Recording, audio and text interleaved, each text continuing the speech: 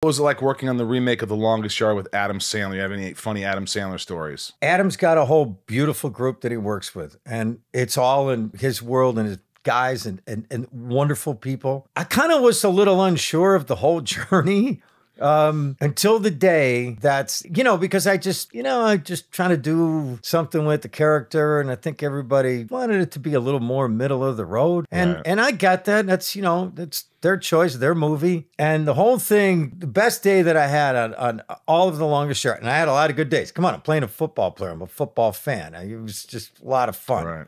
I did walk up when when the camera was rolling and you had these like 300 pound guys in front of you. You know, when when the stunt quarterback was not in, going literally walking down the line to like Romanowski and Goldberg and going, hey, hey, Screen Actors Guild, SAG, not NFL. I'm in, I'm in the game now.